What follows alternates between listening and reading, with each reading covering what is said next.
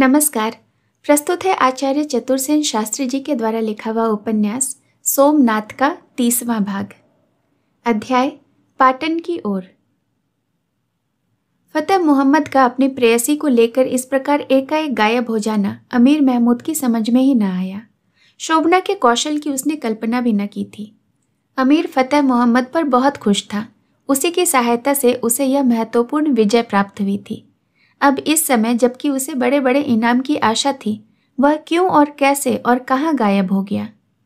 बहुत सी कल्पनाएँ अमीर ने की, गोइंदे छोड़े, परंतु फतेह मोहम्मद का सुराग न लगना था और न लगा। अब व्यर्थ खंभात में समय नष्ट न करके उसने सब लश्कर लेकर पाटन की ओर कूच किया। उसे लूटे हुए उस अटूट धन की बहुत चिंता थी, जिसे वह सेनापति महमूद और अपने उस्ताद अलबरूनी की देखरेख में पाटन भेज चुका था। वो अपनी मूल सेना से भी देर तक पृथक नहीं रहना चाहता था। यहाँ यद्यपि उसे विजय मिली थी, उसकी समझ से उसकी प्राणों से प्रिय चौला देवी भी उसके हाथ आ गई थी। परंतु उसने पहली बार ही अपनी सहस्र विजय यात्राओं में निरीह नागरिकों का जमकर मुकाबला करने का सौत्साह देखा। इससे वह भयभीत हो गया था। उसकी प्रधान मुहिम फतेह हो चुकी थी। उसके प्रत्येक सिपाही के जीनों में सोना चांदी और जर जवाहरात भर चुके थे। अब किसी का मन लड़ने में नहीं अपने घर लौटकर मौज मज़ा करने में था। अपने बर्बर सिपाहियों की मनोवृत्ति वह खूब समझता था, तथा इन भेड़ियों को पालने का ढंग भी वह जानता था। इससे उसने लौटने में देर करना ठीक नहीं समझा। शोभना ने जिस शान और शालीनता से उससे वार्तालाप किया था, उसने उसकी हतरंती के तारों को झिंकृत कर दिया था। जीवन में पहली बार उसे समझा कि किसी औरत पर काबू पाना और चीज़ है और उसका प्यार पाना बिल्कुल जुदा चीज़ है। महमूद पढ़ा लिखा अधिक न था, पर कवित्व के मर्म को जानता था, भावुकता उसमें थी। फिर उसका यह वाक्यार्थ, जब हृदय स्वभावतः कोमल और भावुक हो उठता है। जीवन में पहली बार उसने एक औरत के सामने आत्मसमर्पण करने का स्वाद अनुभव किया था। उसका मन प्यार की पीड़ा से कोमल और भावुक हो रहा था। इस समय फतेह मोहम्मद को निकट पाने के लिए वह बेचैन हो उठा था। वही उसका इस समय सबसे बड़ा समर्थ सलाहकार और सेना नायक था। दूसरा समय होता तो वो उसके इस प्रकार गायब हो जाने पर संदेह करता, परंतु इस समय वह अधिक सोच विचार नहीं कर सकता था। उसने ख्वाजा अब्बास अहमद को बुलाकर अपनी चहेती मलिका की सवारी के संबंध में सब आवश्यक आदेश दे दिए और कैदियों के काफिले को आगे कर कूच बोल दिया। लश्कर में सबसे आगे बाजा गाजा, धौसा और निशाना का हाथी था। उसके पीछे उठनियों पर तुर्क के तिरंदाज थे। उसके पीछे अब्बास अपने 500 सवारों के बीच शोभना रानी को ले जा रहा था। शोभना की सवारी एक दिग्गज हाथी पर थी, जिस पर सुनहरी अंबारी कसी थी। शोभना की सवारी के पीछे हाथियों पर खजाना था और उसके पीछे अमीर अपने बलूची सवारों से घिरा ऊँचे काले घोड़े पर सवार चल रहा था। सबसे पीछे रसद, डेरे तंबू, राशन और बावर्ची तोशा खाना साइस आदि थे। अमीर का यह लश्कर मीलों लंबा था और राह में जो खेत, गाँव, बस्ती आती थी, सब उजड़ जाती थी। गाँव के निवासी गाँव छोड़ छोड़कर भाग जाते थे। बहुधा बर्बर सैनिक अकारण ही जिसे भी पाते, मार डालते, लूट लेते या आग लगा देते। कहीं किसी की कोई सुनवाई नहीं थी। अध्याय, सामंत चौहान। सामंत चौहान को अंतिम समय में खंबात का नगर सौंपा गया था और जब गणगौर के मेले पर आक्रमण हुआ था तो वो अपनी सेना की एक टुकड़ी लेकर वहाँ लड़ने चला गया था। उसके साथ बहुत कम सिपाही थे तथा मेले में अनगिनत स्त्री और बच्चे और निरीह नागरिक एकत्र थे। अमीर के बर्बर पशु भेड़ियों की भांति उन पर टूट पड़े थे। यह कोई युद्ध न था, निर्दय हत्याकांड था। इस समय सामंत ने वेग से शत्रुओं पर धावा बोल दिया था। उसने बड़ा कठिन युद्ध किया था और उसका फल यह हुआ कि वह घावों से जर्जर होकर भूमि पर गिर गया। उसके ऊपर भी शत्रु मित्रों की लोथे पड़ गई सामंत के किसी ने सुध नहीं ली। वह वहीं अर्धमृत अवस्था में लोथों के नीचे दबा पड़ा रहा। रात्रि आई और गई। दिन निकला, तब सामंत को होश आया। परंतु उसमें उठने की सामर्थ्य नहीं थी। उसने किसी प्रकार अपने ऊपर पड़े हुए मुर्दों को हटाया और सिर ऊँचा किया। प्यास से उसका कंठ सूख रहा था। पर जल वहाँ कहाँ था? थोड़ी ही देर में वह फिर मूर्छित हो गया। बहुत देर तक वह मूर्छित पड़ा रहा और इस बार जब उसकी मूर्छा टूटी तो दोपहर दिन चढ़ चुका था। किले में मार काट और शोर मच रहा था। स्पष्ट था कि शत्रु ने किला दखल कर लिया है। वह नहीं जानता था कि घायल महाराज चौला देवी और शोभना का क्या परिणाम हुआ। चौला देवी और महाराज भीमदेव के लिए उसके प्राण छटपटा उठे, पर बहुत चेष्टा करने पर भी वह उठकर खड़ा नहीं हो सका। सिर पर प्रखर सूर्य तप रहा था। चारों ओर लोथें सड़ रही थीं। चील और गिद्ध मंडरा रहे थे। एक भी जीवित प्राणी न था। भूख और प्यास से उसके प्राण कंठगत हो रहे थे और सिर दर्द से फटा जा रहा था। घावों का रक्त अंग पर सूख गया था। घाव गंदे होकर कसक रहे थे। उसने पूरा ज़ोर लगाकर अपना कंधा उकसाया। उसने दूर एक स्त्री को लोथों के बीच फिरती पाया। कई बार पुकारने की चेष्टा करने पर ही उसके कंठ से आवाज़ निकली। स्त्री ने सुनकर मुँह उधर उठाकर देखा। वह आई। वह एक वृद्धा स्त्री थी। रोते रोते उसकी आँखें सूज गई थी। उसने सहारा देकर सामंत को उठाकर खड़ा किया। सामंत ने कहा, किसे ढूंढ रही हो माँ? मेरा बेटा, तेरे जैसा ही वीर था। तो माँ, मुझे एक घुट पानी कहीं से पिला दे तो मैं भी तेरे पुत्र को ढूँढने में मदद करूँगा। वृद्धा का एक छोटा सा फूस का घर पास ही था। वह ब्राह्मणी थी। उसका पुत्र महालय का पुजारी था। गनगौड़ का मेला देखने आया था। घर लाकर वृद्धा ने सामंत को पानी पिलाया। फिर थोड़ा दूध भी दिया। उसके अंग साफ़ किए। घावों पर पट्टी बांधी। इससे आश्वस्त होकर सामंत ने कहा, चलो माँ, तुम्हारे लाल को ढूंढें। एकाध लाठी या बाँस का टुकड़ा हो तो मुझे दे दो। नहीं बेटा, तू बहुत कमज़ोर है। यहीं आराम कर। मैं जाती हूँ। नहीं माँ, मैं साथ चलता हूँ। आज न जाने कितनी माँ बिना पुत्र की हुई हैं और तेरा पुत्र मिल जाए तो फिर तो मेरा जीवन ही सार्थक हो जाए। दोनों ने फिर लोथों को उलटना पलटना प्रारंभ किया। इस काम में संध्या हो गई, परंतु ब्रह्मणी का बेटा न मिलना था, न मिला। वृद्धा ने ठंडी सांस भरकर कहा, ब्रह्मणी हूँ बेटा, ब्राह्मण का धन संतोष है। अब संतोष ही करूँगी। चल, घर चलें। सामंत थकावट से चूर चूर हो रहा था। अब और घूमना शक्य न था।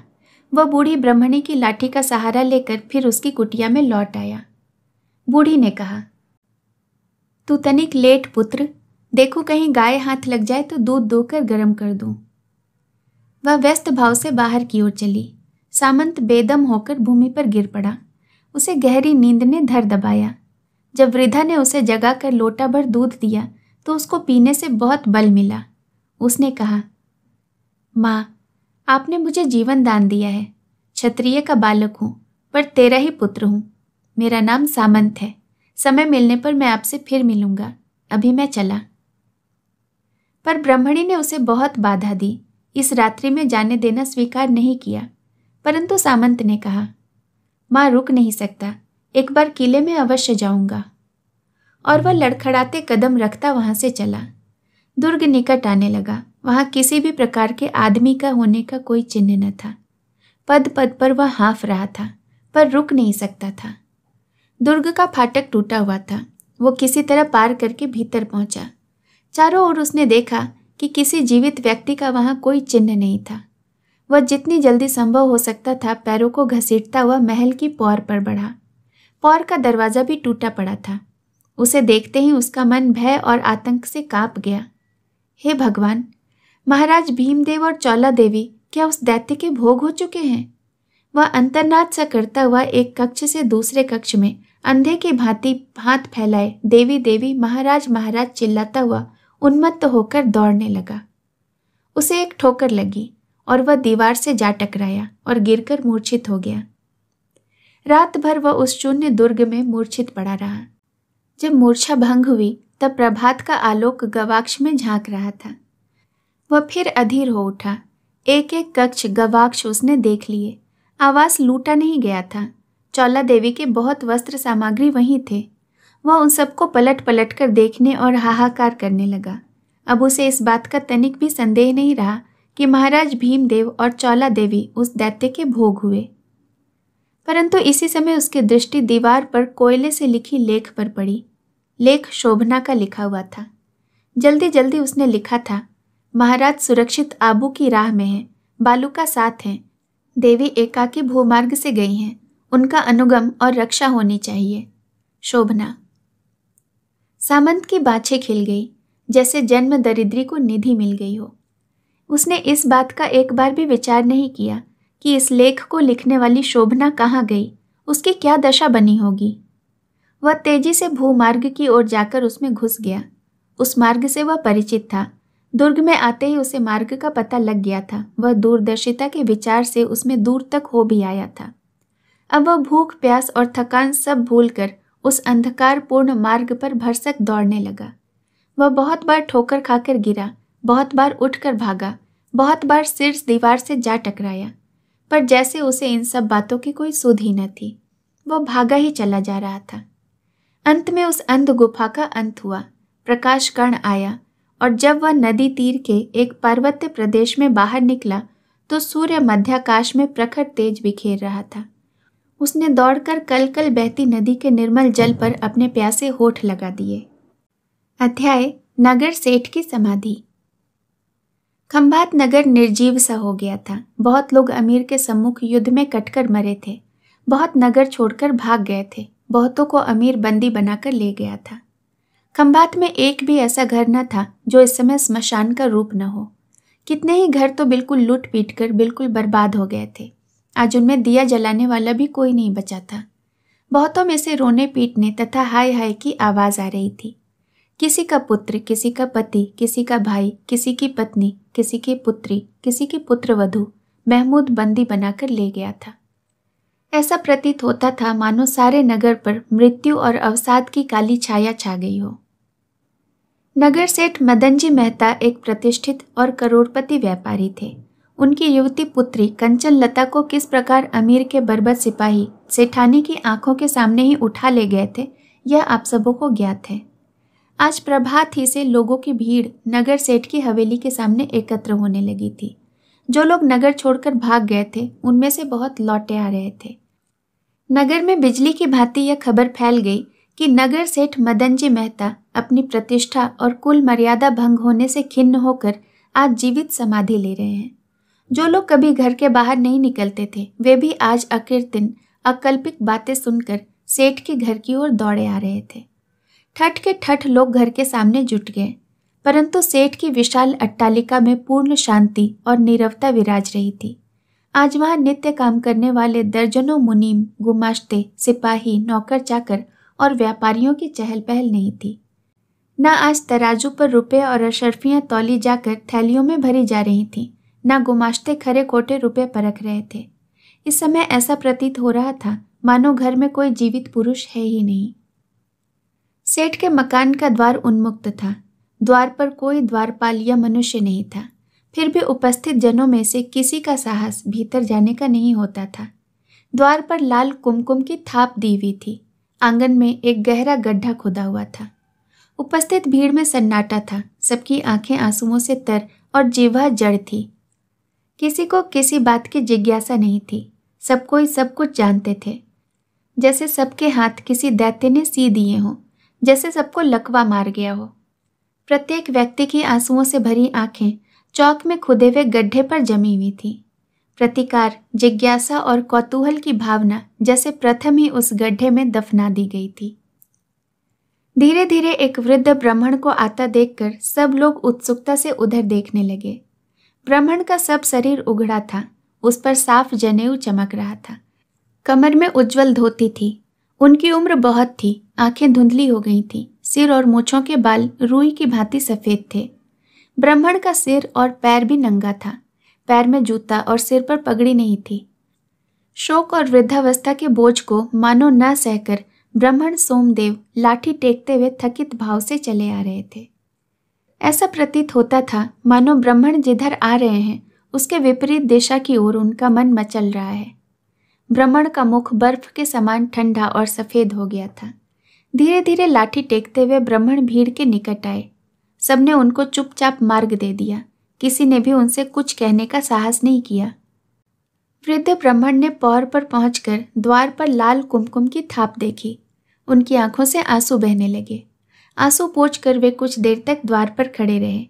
उन्होंने अपने कांपते हुए दोनों हाथ आकाश की ओर उठाए। आंसुओं से धुंधली आँखों को सूर्य की ओर फिराया। फिर कुछ होठों ही होठों में कहा, उनका कंठस्वर फूटा नहीं, केवल होठ फड़क कर रह गए। भीड़ में दो चार गणमान्य नागरिक थे। उनमें से कुछ सेठ के संबंधी और मित्र भी थे। उन्होंने आगे बढ़कर ब्राह्मण से धीमे और अवरुद्ध स्वर में कहा, उन्हें रोकिए। ब्राह्मण ठिटक गए। उनकी आँखों में आँसू आ गए। उन्होंने धीमे, किंतु स्थिर स्वर में कहा, नहीं। और उन्होंने स्थिर कदम से घर में प्रवेश किया। कुछ देर तक सन्नाटा रहा। इस समय अनगिनत मनुष्य वहाँ एकत्र होकर सांस रोके खड़े थे। सबने देखा, नगर सेठ धीर गति से बाहर आए। उन्होंने सफ़ेद पोशाक धारण की थी, मस्तक पर केसर का तिलक लगा था। उनका मुख भाव विहीन दृष्टि पृथ्वी पर झुकी हुई और दोनों हाथ नीचे लटक रहे थे। आगे कुल पुरोहित, वृद्ध, ब्राह्मण, पीछे सेठ, क्रमबद्ध, सब नीरव, सब शांत। प्रमुख नागरिक, सेठ, संबंधी, सब पौर पर चढ़कर भीतर गए। नगर सेठ ने कहा, भाइयों कहा, सुना, माफ़। अपनी लाज अपनी आँखों में लेकर आज मैं जा रहा हूँ। ईश्वर आप लोगों को सुखी रखे। इतना कहकर सेठ गड्ढे में उतर गए। वह बीच में रखे एक आसन पर पालथी मारकर बैठ गए। फिर उन्होंने उच्च स्वर में कहा, भाइयों, जो पुरुष अपनी पुत्री की रक्षा नहीं कर सका, उसके सिर पर एक एक मुट्ठी धूल डालने की कृपा करो।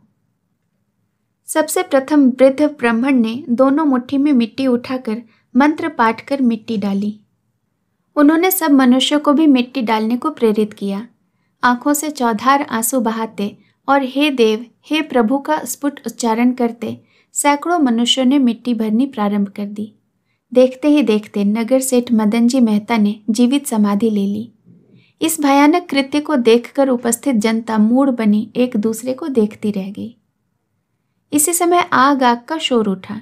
लोगों ने देखा, नगर सेठ की विशाल अट्टालिका भीतर ही भीतर सुलग रही है। उसमें से चारों ओर से अग्नि की लपटें निकल रही हैं। लोग बाहर भीतर दौड़ने लगे। इसी समय ऊपर के खंड का मुख्य द्वार खुला।